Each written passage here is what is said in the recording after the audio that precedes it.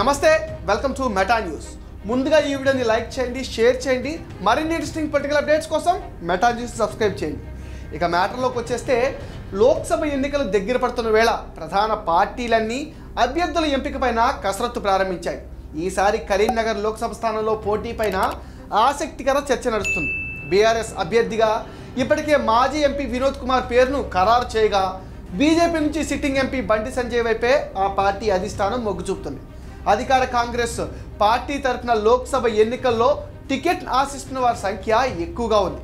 Assembly ఎన్నికల్లో ticket ఆశించి భంగపడిన నేతలు ఇతరుల కోసం త్యాగం చేసిన లీడర్లు కరీంనగర్ టికెట్ కోసం పోటీ పడుతున్నారు.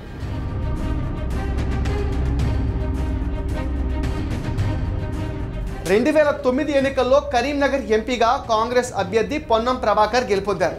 ఆ తర్వాత వరుసగా రెండు వేల పద్నాలుగు రెండు వేల పంతొమ్మిది ఎన్నికల్లో కాంగ్రెస్ పార్టీ ఓడిపోయింది. ఇటీవల జరిగిన అసెంబ్లీ ఎన్నికల్లో కరీంనగర్ పార్లమెంట్ పరిధిలోని చొప్పదండి మానకొండూరు హుస్నాబాద్ వేములవాడలో కాంగ్రెస్ అభ్యర్థులే విజయం సాధించారు. దీంతో ఆ పార్టీ తరఫున కరీంనగర్ ఎంపీ టికెట్ పైన పోటీ చేసేందుకు అనేక మంది లీడర్లు ఆసక్తి చూపుతున్నారు. వారిలో జగిత్యాల నుంచి ఎమ్మెల్యే అభ్యర్థిగా పోటీ చేసి ఓడిపోయిన ఎమ్మెల్సీ జీవన్ రెడ్డి హుస్నాబాద్ టికెట్ను త్యాగం చేసిన మాజీ ఎమ్మెల్యే అలిగిరెడ్డి ప్రవీణ్ రెడ్డి హుజూరాబాద్ టికెట్ను త్యాగం చేసిన ఎన్ఎస్యుఐ రాష్ట్ర అధ్యక్షుడు బలమూరి వెంకట్ పేర్లు ప్రధానంగా వినిపిస్తున్నాయి.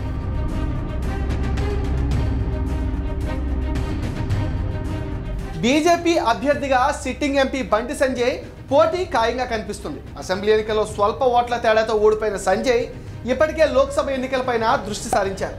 పార్లమెంట్ నియోజకవర్గ పరిధిలోని బీజేపీ జిల్లా మండల అధ్యక్షుడు ఇతర ముఖ్య నాయకులతో సమావేశమయ్యారు.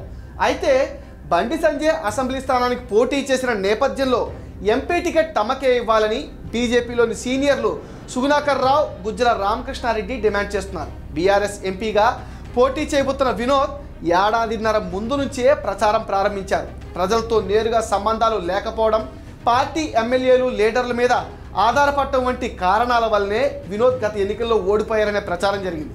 దాంతో ఈసారి తన పార్లమెంట్ పరిధిలోని అన్ని అసెంబ్లీ నియోజకవర్గాల్లో నిర్వహించే అధికారిక కార్యక్రమాల్లో పాల్గొంటూ ప్రజల్లో ఉండేందుకు ప్రయత్నించారు. రాష్ట్ర విభజన అనంతరం జరిగిన ఎన్నికల్లో ఓసారి బీఆర్ఎస్ ఓసారి బీజేపీ కరీంనగర్ లోక్సభ స్థానాన్ని కైవసం చేసుకోగా ఈసారి ఎవరు గెలుస్తారనేది ఆసక్తికరంగా మారింది. ఇది మెటా న్యూస్ అప్డేట్. ఈ వీడియోని తప్పకుండా లైక్ చేయండి షేర్ చేయండి. మరిన్ని ఇంట్రెస్టింగ్ పొలిటికల్ అప్డేట్స్ కోసం మెటా న్యూస్ని సబ్స్క్రైబ్ చేయండి. మీ ఒపీనియన్ కామెంట్ సెక్షన్లో పోస్ట్ చేయడం మర్చిపోకండి.